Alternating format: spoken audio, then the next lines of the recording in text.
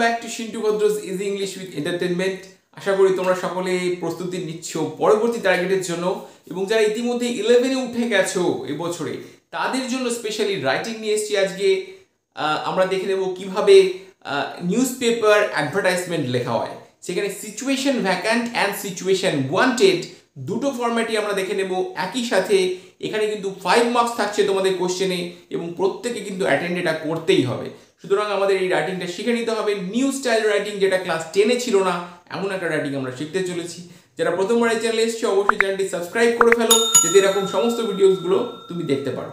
তো চলো দেখে নিই আজকে আমরা দেখে নেব কোন রাইটিংটা তো দেখো, প্রশ্ন আমি একটা রেখেছি news paper advertisement class eleven specially দেখো, রয়েছে company needs a female office assistant draft and advertisement so এখানে কিছু পয়েন্টস তোমাকে মনে রাখতে হবে। অ্যাডভার্টাইজমেন্ট কি? অ্যাডভার্টাইজমেন্ট হলো খুব সংক্ষিপ্ত একটা তথ্য, যেখানে একটা টাইটেল থাকে এবং সেই টাইটেলটা দেখে তুমি অ্যাডভার্টাইজমেন্টটা পড়ো, যেখানে খুব অল্প শব্দ ব্যবহার করতে হয়, কারণ বিজ্ঞাপন দিতে গেলে প্রতিটা শব্দের জন্য তোমাকে কিন্তু স্পেশালি অর্থ দিতে হয়। সুতরাং কম শব্দে তোমার রিকোয়ারমেন্টটা বুঝিয়ে দিতে পারলেই কিন্তু অ্যাডভার্টাইজমেন্টটা বেস্ট হয়। তো এখানে বেশি কথা বলার কোনো জায়গা নেই, খুব স্মল রাইটিং কিন্তু ফাইভ মার্কস ক্যারি করছে।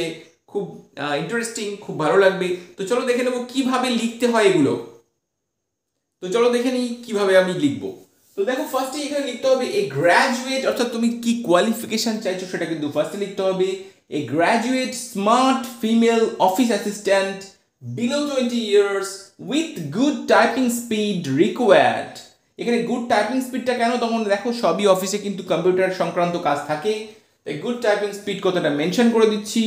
Required for S G private limited contact within ten days with CV curriculum vitae যেটাকে সংক্ষেপে বলা হয় সিভি স্যালারি নিগোশিয়েবল নিগোশিয়েবল কেন? যেখানে তোমার সঙ্গে কথা বলে স্যালারি ঠিক করা হবে, সেটা তুমি বলে দিলে। নির্দিষ্ট কোনো স্যালারি তুমি বললে না। স্যালারি নিগোশিয়েবল অর্থাৎ নির্দিষ্ট করে না বলে, বললে তুমি আলোচনা করে ঠিক করা হবে। অ্যান্ড কন্ট্যাক্ট নাম্বারটা কিন্তু খুব ইম্পর্টেন্ট এখানে তুমি তোমার অফিসের যে কমপ্লিট অ্যাড্রেস সেটা কিন্তু দিয়ে দিতে হবে মোবাইল নাম্বার দিতে হবে অ্যান্ড জিমেল দেখো S B easy English at the rate of Gmail dot com আমি আমার জিমেলটা দিয়ে দিয়েছি।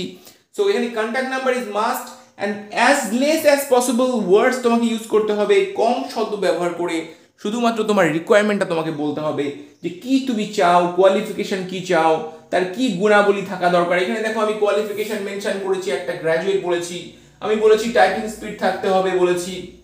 তুমি আরও কিছু বলতে পারো with with good communication skill with good speaking power with good communication language এরকম কিছু মেনশন করতে পারো।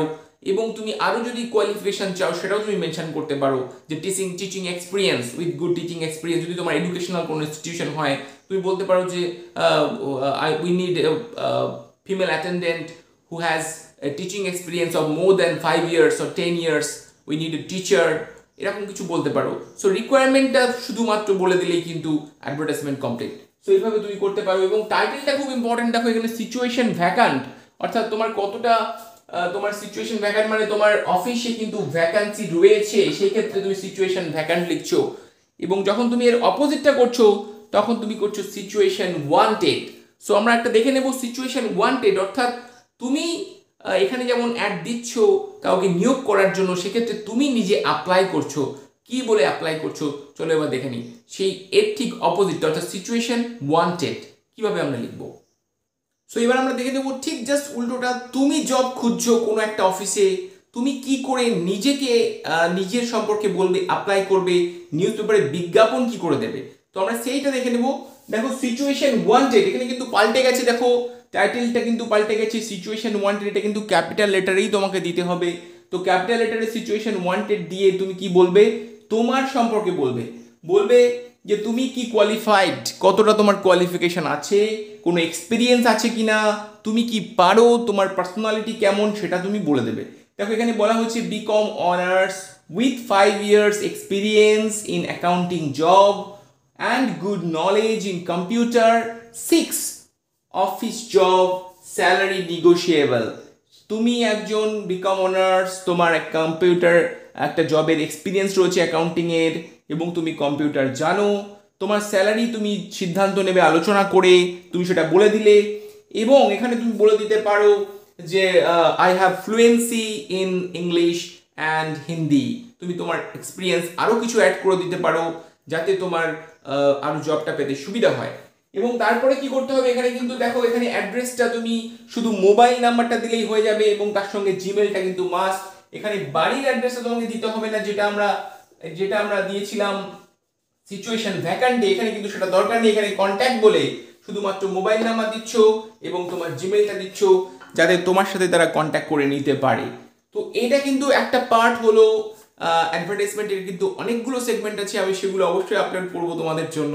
সো দেখতে থাকো শিখতে থাকো প্র্যাকটিস করো প্রচুর, আর যে জিমেলটা আমি দিয়েছি এটা আমার জিমেল তোমরা চাইলে এখানে লিখে দেখাতে পারো কোনো একটা এরকম একটা situation vacant or situation wanted কোনো একটা টপিকের উপরে লিখে দেখাতে পারো।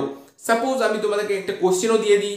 Suppose you have opened a new educational institution and you need a teacher of science so that is the topic তুমি এর উপরে কিন্তু একটা অ্যাডভার্টাইজমেন্ট লিখে আমাকে সেন্ড করতে পারো এই জিমেলটাতে easy English at the rate of Gmail dot com so সকলে ভালো থাকো, সুস্থ থাকো। আবার দেখা হবে পরের ভিডিওতে। ততক্ষণের জন্য গুড বাই